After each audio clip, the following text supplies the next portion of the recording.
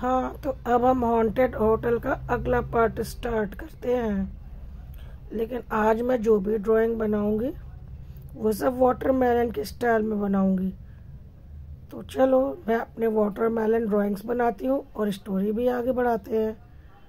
तो कल हमने देखा था कि क्रैकर शॉप में आग लगाई थी, जिससे छोटे छोटे क्रैकर्स फूटने शुरू हो गए थे और हम वहीं छुप कर बैठे हुए थे। और इंतज़ार कर रहे थे, देखे अब क्या होता है। थोड़ी ही देर में एक बहुत बड़ा धमाका हुआ, बहुत बड़ा धमाका। और सा, चारों ओर धुआँ ही धुआँ धुआँ ही धुआँ। और हम बिल्कुल बेहोश हो गए, हमें कुछ भी याद नहीं क्या हो रहा है। और फिर एकाएक जब थोड़ी देर के बाद हमारी आँखें खुली तो हमने देखा कि हम तो अपने घर में हैं। तो मैं दौड़कर अपने बेटे के रूम में गई तो देखा वो भी अपने घर में सो रहा है और मैं भी सो रही थी। मैंने उसे हिला के उठाया तो वो उठा तो उसने बोला, मम्मा, हम यहाँ कैसे आए?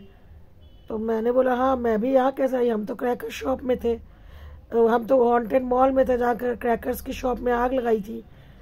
तो वो बोला हाँ यही तो हुआ था, पर हम अपने घर कैसे आ गए? तो मैंने बोला, कहीं ऐसा तो नहीं कि हम एक सपना देख रहे थे, एक डरावना सपना जिसमें हम एक मॉल में फंस चुके थे? तो मेरे बेटे ने बोला नहीं मम्मा, ऐसा कैसे हो सकता है कि हम दोनों एक ही जैसा सपना देखें? ऐसा तो पॉसिबल ही नहीं है। तो मैंने बोला हाँ ये बात भी सही है। ऐसा कैसे हो सकता है कि हम दोनों एक ही जैसा सपना देखें? फिर हमें बहुत तेज़ डर लगने लगा कि ऐसा कैसे हुआ, हम अपने घर में कैसे आ गए, उस मॉल का क्या हुआ? तो फिर हमने कहा, अब क्या करें? तो हमने सोचा, चलो, चल के देखते हैं, इस बार हम मॉल के अंदर नहीं जाएँगे। पर हम इस इस बार उस मॉल वाली जगह पर चल के दूर से देखते हैं कि आखिर माजरा क्या है। तो मैं और मेरे बेटे ने जल्दी जल्दी से कपड़े चेंज किए और जल्दी से हम मॉल की तरफ़ चल पड़े। पर इस बार हम पूरी तरह से तैयार थे कि हम मॉल के अंदर नहीं घुसेंगे, क्योंकि इतनी मुश्किल से तो हम उससे बाहर निकले थे। पर कैसे निकले थे ये हमें नहीं पता। तो फिर जब हम मॉल के पास पहुँचे तो हमने देखा वहाँ तो कोई मॉल नहीं है। कोई मॉल है ही नहीं। बस वहाँ पे ढेर सारी राख पड़ी हुई थी ब्लैक कलर की। जैसे वहाँ पे कुछ जला हो तो हम उसके थोड़ा सा पास गए।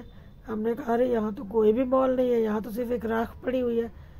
फिर हमने कहा, लेकिन हम इसी मॉल में तो बंद थे कल से।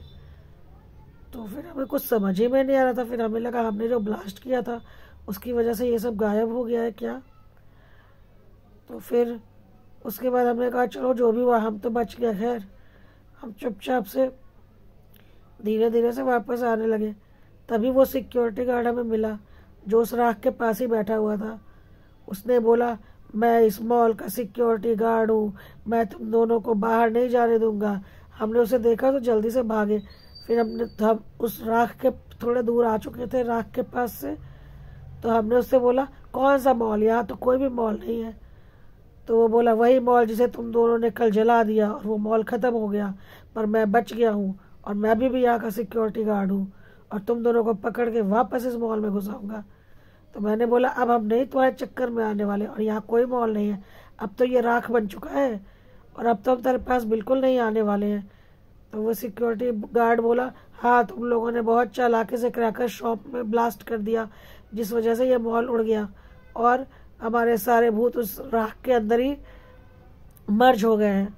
लेकिन मैं उस वक्त मॉल के बाहर निकला था किसी काम से, इसलिए मैं बच गया। लेकिन भूलो मत, मैं अभी भी इस मॉल का सिक्योरिटी गार्ड हूँ और एक भूत हूँ।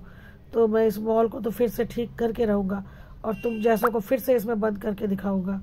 तो फिर मैंने बोला, यहाँ पर कैसे करोगे? अब तो ये मॉल बचा ही नहीं।